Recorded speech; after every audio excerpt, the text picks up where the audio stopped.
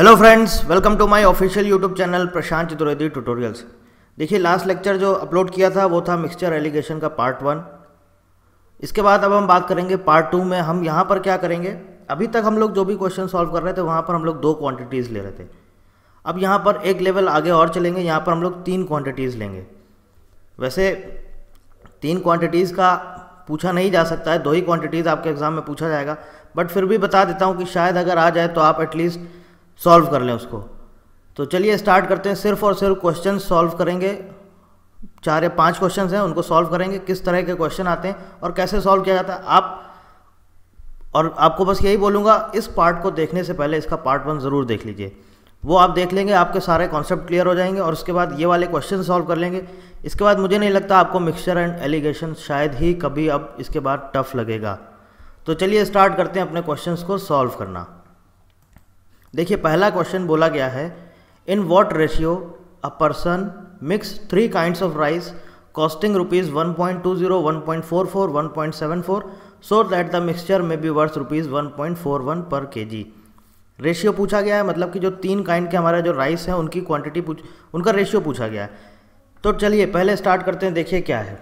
देखिए, पहली चीज़ तो ये आपको बताता हूँ, जो rupees one point two zero one point four four one point seven four है जब सारी एक ही उसमें यूनिट में दिया हो तो इसको पहले तो आप 1.20 आप क्या करेंगे? बाद में जो है पॉइंट से पॉइंट कैंसिल करेंगे डेसिमल्स हटाएँगे। तो यहाँ पर आपको क्या करना है? सीधे एज इट इज़ 120 लिखिए 144 लिखिए। आपको इसको सॉल्व करने में आसानी रहेगी। अदरवाइज़ आप पहले वहाँ पर 1.20 लिखेंगे 1.44 फिर उसके बाद कैंसिल करेंगे तो क्या है? टाइम वेस्ट होगा। उससे बेटर है, पहले ही डायरेक्ट लिख लीजिए। तीन अलग अलग क्वांटिटी हैं। हमने मान लिया ए बी और सी और जो मिक्सचर है वो दिया गया 1.41 यानी कि हमने ले लिया इसको 141 अब देखिए, जब तीन क्वांटिटी आती हैं तो आपको यहाँ पर क्या करना होता है? यहाँ पर आपको दो बार एलिगेशन रूल लगाना पड़ता है। और जो सबसे इंपॉर्टेंट चीज़ है वो आपको ध्यान रखना है कि जब भी आप एलिगेशन रूल लगाएँगे, इसके पहले भी आपने जो पिछले पार्ट में क्वेश्चन किए हम लोगों ने, उसमें क्या किया था? जो मिक्सचर क्वांटिटी होती है ये, या इसको बोलते हैं एवरेज वैल्यू या बोलते हैं मीन वैल्यू यहाँ पर हम मिक्सचर क्वांटिटी लेते थे। यहाँ पर चीपर क्वांटिटी और यहाँ पर डियरर क्वांटिटी मतलब कि जो मिक्सचर होता था, ये क्या होता था? इन दोनों के बीच में होता था। मतलब अगर एक कम है तो एक ज़्यादा है। एक कम है तो एक ज़्यादा है। तो हमें जो यहाँ पर दो बार एलिगेशन रूल लगाना है, ये ध्यान रखना है कि एक क्वांटिटी कम लेनी है, दूसरी क्वांटिटी ज़्यादा लेनी है।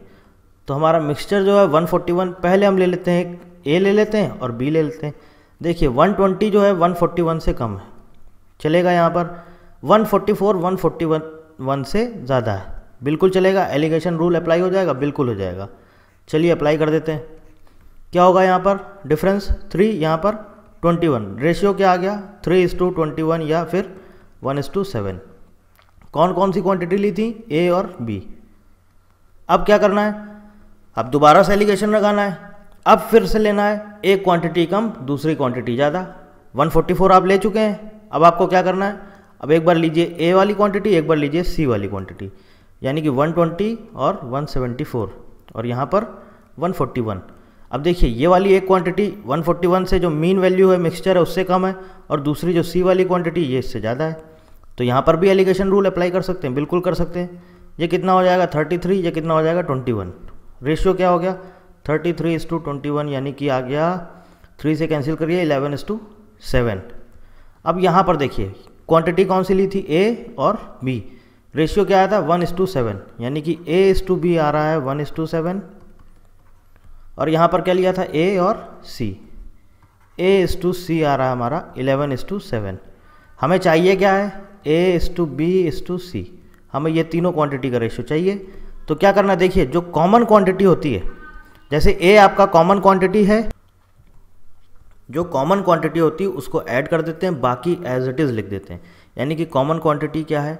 ए है ना हमारी? आपको पता है कॉमन क्वांटिटी क्या है? ए इसकी यहाँ पर वैल्यू वन यहाँ पर एलेवन दोनों को ऐड कर दीजिए, क्या हो गया? ट्वेल्व बी का कितना है? सेवन सी का कितना है? सेवन एज इट इज़ लिख दीजिए। यही हमारा आंसर है। A is to B is to C क्या आ गया? आपने शायद रेशियो में पढ़ा होगा ये। अगर नहीं आता हो तो ध्यान रख लीजिए। अगर क्वांटिटीज सेम नहीं दी जाती तो हमें क्वांटिटी सेम बनानी पड़ती है। अब यहाँ पर दो कॉमन मिल गया हमें ए बी कॉमन है ए बी कॉमन है। तो जो कॉमन होता है उसको ऐड कर देते हैं, बाकी एज इट इज़ लिख दीजिए। सो आंसर हमारा आ गया twelve is to seven is to seven next question बिल्कुल सेम वैसा ही है। पिछले पार्ट में, जो पिछला वीडियो था, उसमें मैंने आपको बताया था, जो एलिगेशन रूल लगता है, ये कहाँ पर लगता है? एलिगेशन रूल की एक खासियत होती है, ये सिर्फ़ वहीं लगता है जहाँ पर यूनिट सेम होती हैं। यूनिट सेम होती। है और मैंने आपको एक पिछला इस टाइप का क्वेश्चन भी कराया था। यहाँ पर कॉस्टिंग मतलब कि कॉस्ट प्राइस दिया गया है। ये सब कॉस्ट प्राइस है। और यहाँ पर सोल्ड हुआ है, यानी कि सेलिंग प्राइस है। नाइन्टी सिक्स रुपीज़ जो है, ये सेलिंग प्राइस है। तो हमें क्या करना है? इसको कॉस्ट प्राइस में कन्वर्ट कर लीजिए। जब कॉस्ट प्राइस में कन्वर्ट करेंगे तो क्या हो जाएगा? प्रॉफिट है ट्वेंटी परसेंट यानी कि one twenty percent is equal to ninety six cost price को हम कितना लेते हैं? Hundred percent is equal to what cross multiply कर दीजिए। ज़ीरो से zero cancel nine six zero divided by twelve eighty. यानी कि ये आ गया हमारा कॉस्ट प्राइस। अब देखिए, बिल्कुल सेम वैसा ही क्वेश्चन बन गया पहले वाले की तरह। तीन क्वांटिटीज़ मिल गई ए बी एंड सी क्या क्या है? Sixty, seventy five, hundred. और यहाँ पर क्या मिल रहा है? एट्टी। नाइन्टी सिक्स मत लीजिएगा नाइन्टी सिक्स सेलिंग प्राइस है। एलिगेशन वहीं लगता है जहाँ पर यूनिट सेम होता है। तो हमने इसको क्या किया? कॉस्ट प्राइस में कन्वर्ट कर लिया। अब ये क्या हो गया? एट्टी हो गया। अब देखिए यहाँ पर, बिल्कुल सेम वैसा ही क्वेश्चन है। एलिगेशन रूल लगाएँगे, कैसे लगेगा? अब यहाँ पर आप देखिए, एक क्वांटिटी जो ए वाली है, ये तो 80 से कम है। ये भी 80 से कम है। हमें चाहिए क्या होता है? एक क्वांटिटी मिक्सचर क्वांटिटी या मीन वैल्यू से एक कम होनी चाहिए, एक ज़्यादा होनी चाहिए। यहाँ पर दोनों कम है। तो हम क्या करेंगे? एक में ए ले लेंगे, दूसरे में सी ले लेंगे। यानी कि 60 100 और यहाँ पर 80 ये क्वांटिटी है ए ये क्वांटिटी है सी डिफरेंस कितना आ गया? 20 20 यानी कि वन इस टू वन ये रेशियो आ गया। किसका आया है? ए इस टू सी का। अब देखिए, अब हम उठा लेते हैं बी और सी बी और सी बी और सी में देखिए, एक क्वांटिटी आपकी इससे कम है मीन वैल्यू से। दूसरी क्वांटिटी इससे ज़्यादा है। बिल्कुल एलिगेशन रूल अप्लाई कर सकते हैं। सेवेंटी फाइव हंड्रेड और एट्टी और ये क्या है? बी और सी बस, आ गया कितना आया? ट्वेंटी और ये फाइव कर दीजिए, कितना हो गया? Four is to one. क्या आ गया ये? B is to C. अब देखिए, ए इस टू सी आपका मिल रहा है, one is to one. B is to C, four is to one. चाहिए क्या? A is to, B is to C. अब मैंने बताया था, जो कॉमन क्वांटिटी होती है उसको ऐड कर देते हैं, बाकी एज इट इज़ लिख देते हैं। तो वन प्लस वन कितना हो जाएगा? टू। बी का कितना है यहाँ पर? बी का पार्ट कितना है? फोर। फोर, ए का पार्ट कितना है? वन। तो वन, ये हो गया हमारा answer. One is to four is to two. मुझे लगता है आप शायद आपको एलिगेशन या मिक्सचर एलिगेशन आपको बहुत अच्छे से समझ में आ गया होगा। नेक्स्ट क्वेश्चन देख लेते हैं। वो भी बिल्कुल वैसा ही क्वेश्चन है जैसा अभी सेकंड किया है। थर्ड क्वेश्चन बिल्कुल एज इट इज़ है। उसको भी एक बार करके देख लेते हैं। देखिए, क्या बोल रहा है? A trader mixes three varieties of rice costing this this this twenty twenty four thirty and sells the mixture at mixture M I X mixture at a profit of twenty percent at rupees thirty per K G पहले आपको देखिए, ये पता ये क्या है? Cost price है। ये सारे कॉस्ट प्राइस है। ये क्या है? सेलिंग प्राइस है। पहले इसको कन्वर्ट करना है। किसमें बदलना है? कॉस्ट प्राइस में। तो ट्वेंटी परसेंट प्रॉफिट पे बेचा है, यानी कि one twenty is equal to thirty तो हंड्रेड कितना हो जाएगा? क्रॉस मल्टीप्लाई करिए। ये ये कैंसिल हो जाएगा। Three hundred divided by twelve ये आपका आ जाएगा ट्वेंटी फाइव ट्वेंटी फाइव आ गया। ट्वेंटी फाइव क्या हुआ आपका? कॉस्ट प्राइस अब बिल्कुल एज इट इज़ पहला और दूसरा क्वेश्चन बिल्कुल एज इट इज़ है। तो क्या हो जाएगा? तीन quantity twenty twenty four thirty mean value क्या मिल रही है? ट्वेंटी फाइव अब इसको सॉल्व कर लीजिए। मुझे लगता है अब शायद आप लोग कर लेंगे इसको। चलिए करके बता देता हूँ। देखिए, फिर वही है। एक क्वांटिटी कम, एक क्वांटिटी ज़्यादा। यहाँ पर ये दोनों क्वांटिटी कम है।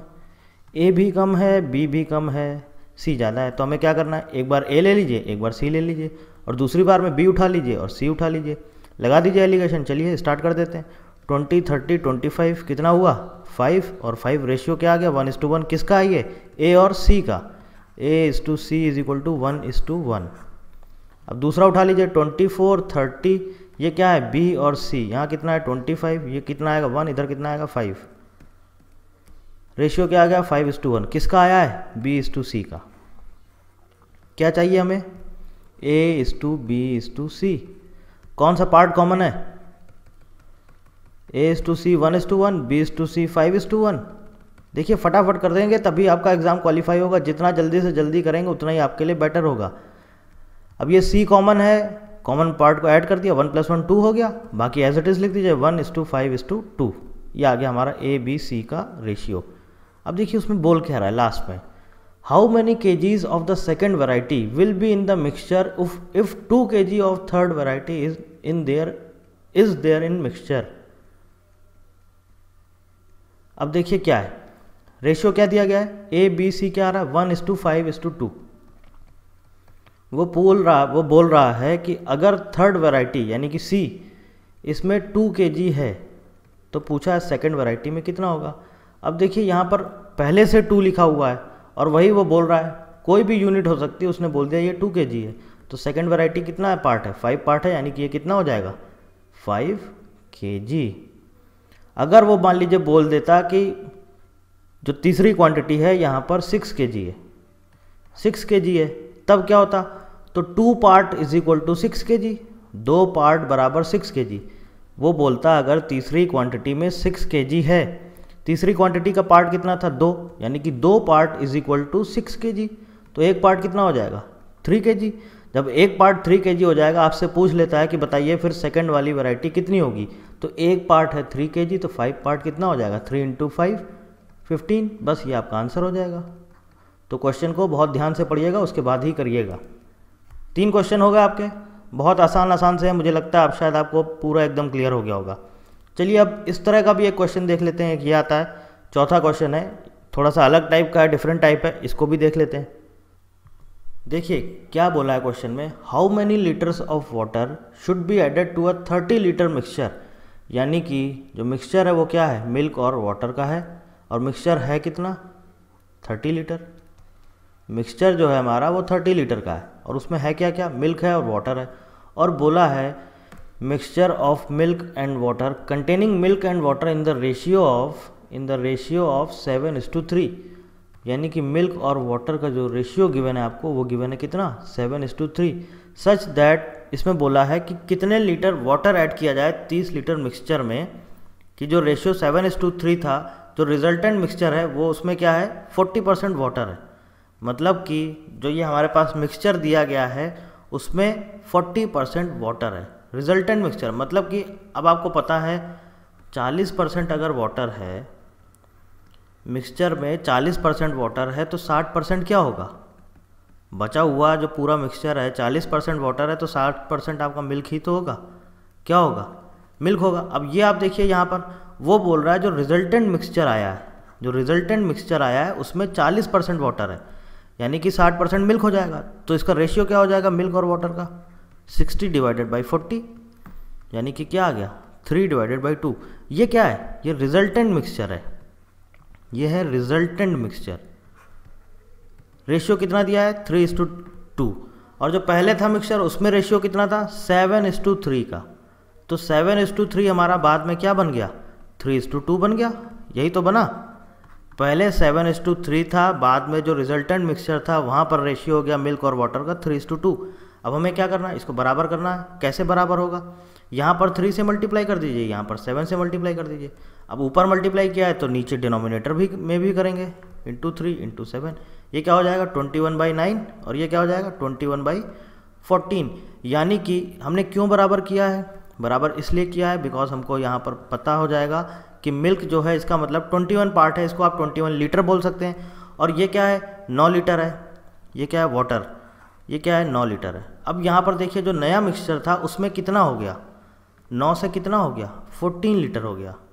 जो नया मिक्सचर हमारा बना है, जो पहले कितना था? थर्टी लीटर था। उसमें इक्कीस लीटर हमारा मिल्क है और नौ लीटर हमारा वाटर है। पर जो नया मिक्सचर बना, उसमें क्या हुआ? इक्कीस लीटर हमारा मिल्क है और वाटर कितना हो गया? Fourteen litre. यानी कि कितना बढ़ गया? फाइव लीटर बढ़ गया। फाइव लीटर हमारा वाटर बढ़ गया। यही हमसे क्वेश्चन में पूछा गया है। How many litres of water should be added to a thirty litre mixture पाँच लीटर ऐड किया जाएगा। जब पाँच लीटर ऐड करेंगे तो रेशियो क्या हो जाएगा हमारा? मिल्क और वाटर का सिक्सटी इज़ टू फोर्टी का रेशियो हो जाएगा। यही इसका हमारा आंसर है।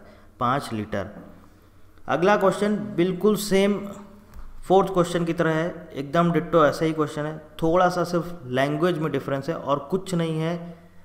इसको एक बार अपनी तरफ़ से कोशिश करिएगा और इसका आंसर कमेंट बॉक्स में पोस्ट करिएगा।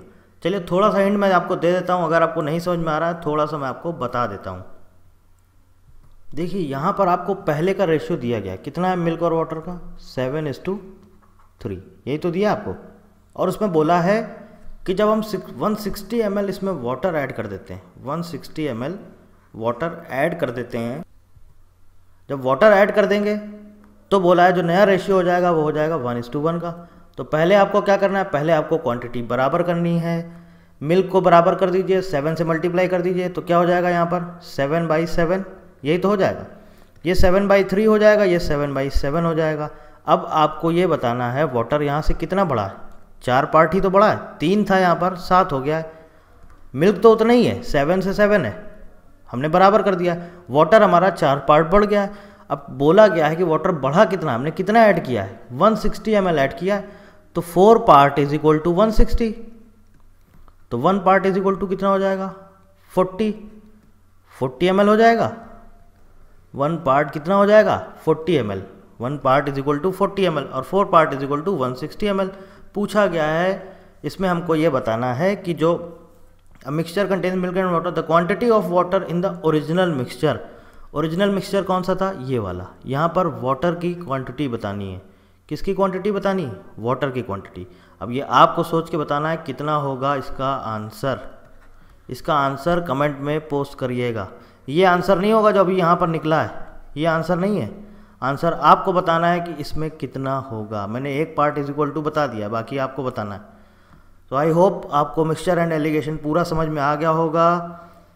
प्रैक्टिस करिए, जितने क्वेश्चंस प्रैक्टिस कर सकते हैं, बुक से प्रैक्टिस करिए, नहीं समझ में आता है, कुछ भी करिए, कैसे भी करिए, प्रैक्टिस करिए और उसके बाद यहाँ पर पूछिए। आपको रिप्लाई ज़रूर दिया जाएगा। So thank you so much guys thank you for watching